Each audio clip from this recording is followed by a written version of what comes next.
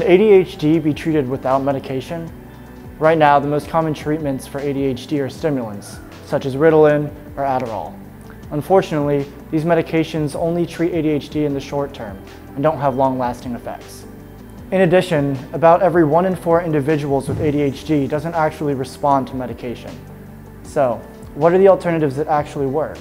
Neurofeedback, which works by balancing the brain's activity, has actually been shown to be just as effective as medication in the treatment of ADHD. Not only that, but the improvements from neurofeedback can actually have long-lasting effects for months and even up to years, whereas medication typically only treats in the short term. Neurofeedback protocols differ per individual. That said, most people with ADHD will receive some sort of training that involves inhibiting theta and beta brainwaves while increasing something called SMR brainwaves.